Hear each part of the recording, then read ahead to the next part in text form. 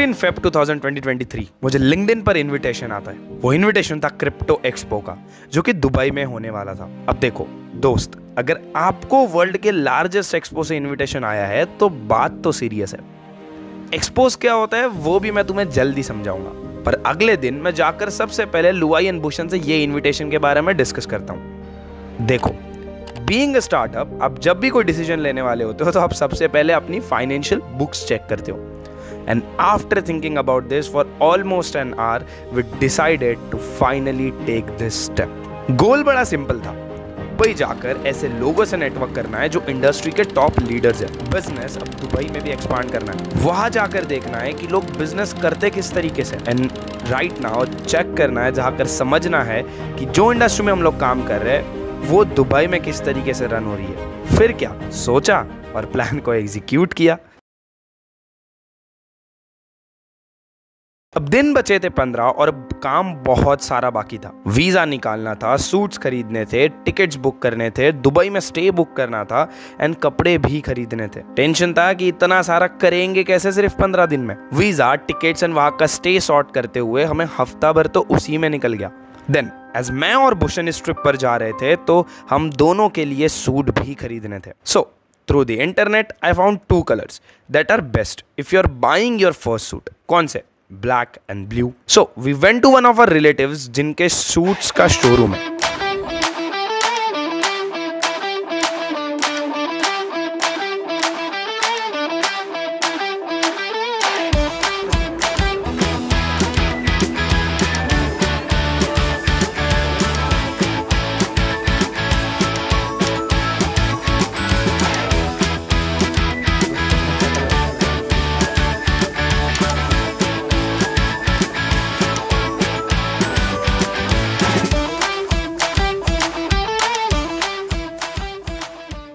फिर क्या? अच्छा बीस तरह के सूट्स ट्राई करने के बाद we have finally finalise this one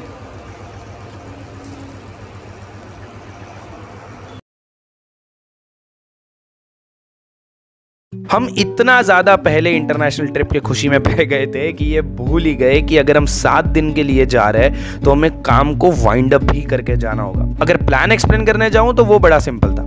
हम निकलेंगे सेवेंथ ऑफ़ मार्च को एंड वापस आएँगे ट्वेल्थ ऑफ़ मार्च को। जहाँ eight and ninth of March को होगा एक्सपो एंड बचे हुए दिन कुछ दिन हम घूमेंगे और कुछ दिन जो है हम रात में इवेंट्स भी अटेंड करेंगे। तब तक बैकग्राउंड में लुआई जो है वो इंडिया में बैठकर कंपनी के सारे काम हैंडल करेगा। अब हम जब ट्वेल्थ को वापस आएँगे तो उसके अगले ही दिन पूरे होल वीक के लिए लुआई दुबई जाएगा, जहाँ लुआई ईद दुबई और वर्ल्ड ब्लॉकचेन समिट ऐसे बहुत बड़े जो इवेंट्स हो रहे हैं, वो उसे अटेंड करेगा। अब आपके मन में क्वेश्चन ज़रूर आ रहा होगा कि क्यों आप ही वहाँ नहीं रुक गए? तो आपको बताने के लिए थर्टीन ऑफ़ मार्च को मेरे पेपर्स थे। एंड पेपर्स तो मिस आउट नहीं कर सकते। तो ट्वेल्थ ऑफ़ मार्च को मैं और भूषण वापस आएँगे और अगले वीक के लिए लुआई वहाँ जाएगा। अब पाँच दिन मोर देन टेन आवर्स काम कर कर हमने सारा काम जो है उसे वाइंड अप किया। ठीक है, सारा तो नहीं कर पाए बट जितना हमसे हो पाया, हमने वो ट्राई किया कि हमने काम जो है उसे खत्म किया। कल हमें निकलना था।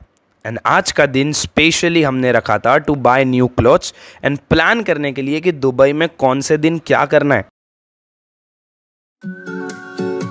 खड़े खड़े से निकले हाँ, हो उड़ान लगे हो ओ डीपी हो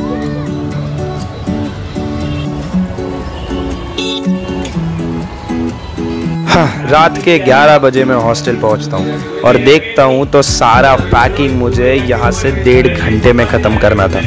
बिकॉज़ सुबह सात बजे उठना है तो जल्दी सोना भी होगा। ये हॉस्टल के दोस्तों ने भी मुझे काफ़ी हेल्प की है मेरी पैकिंग करने में।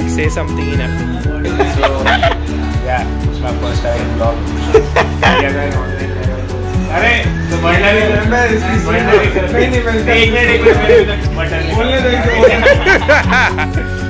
yes.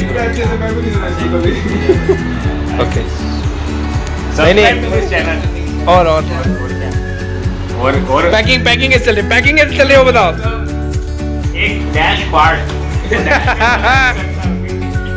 तो ये दो कपड़े थे।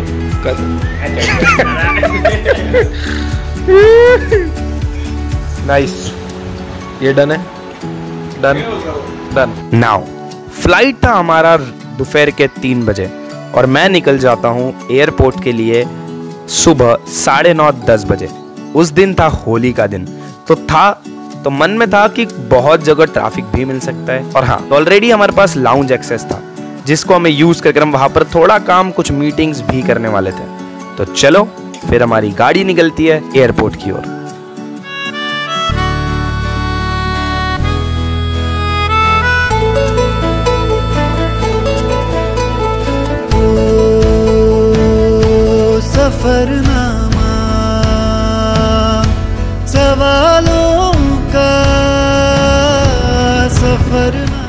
Finally happening still not able to resist this मतलब अभी तक तो कुछ लग नहीं रहा है। फ़िलहाल गहरा एक्साइटमेंट नहीं है। But let's see how does it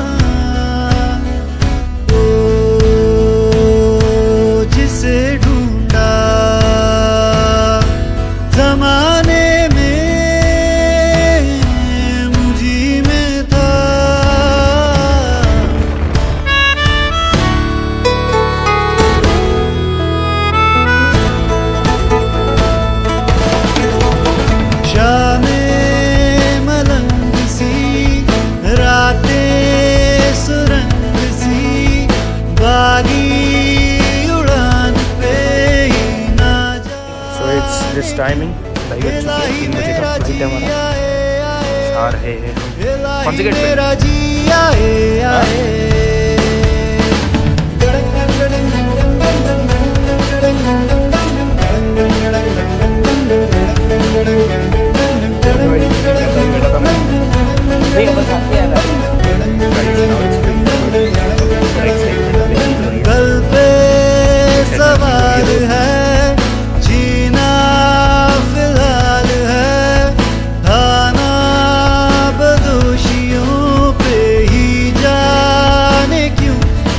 Jaime.